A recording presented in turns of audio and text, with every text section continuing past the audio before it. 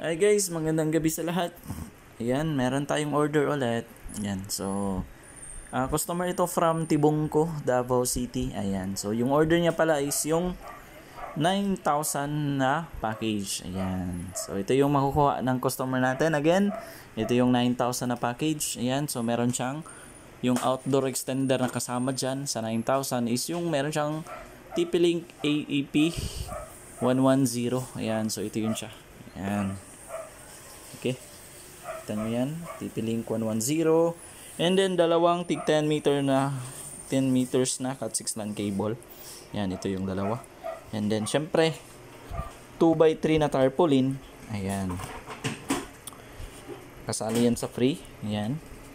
And then, last one is yung ating vendo na may uh, vendo na curve box. Ayan, makikita nyo. Ayan. Curve yan. Okay.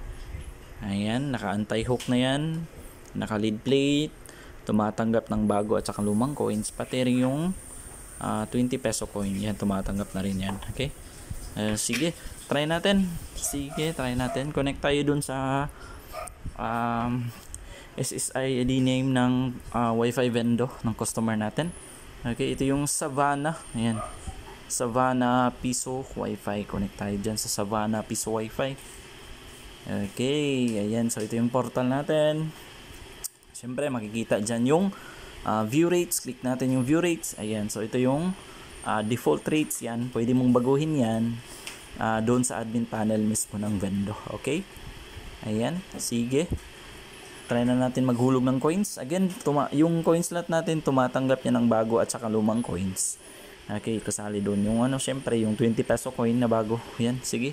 Click natin yung insert coin.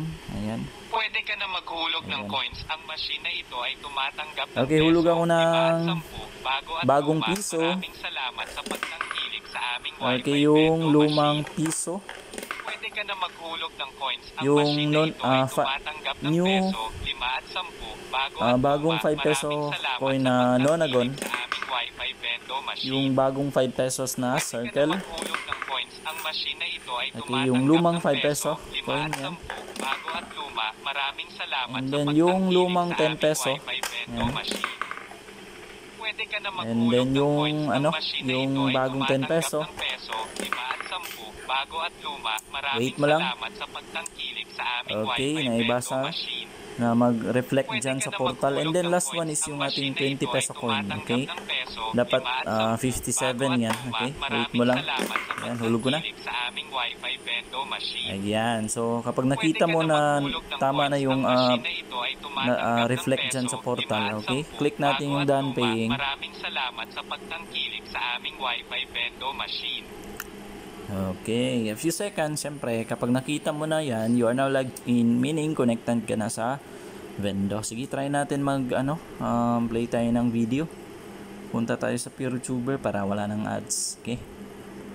Automatically magpi-play yung window. Ah, yung video pala. Ayan. So, kita nyo sa taas. Connected ako sa Savannah Piso Wi-Fi. Okay? Ayan. Sige. Click natin yan.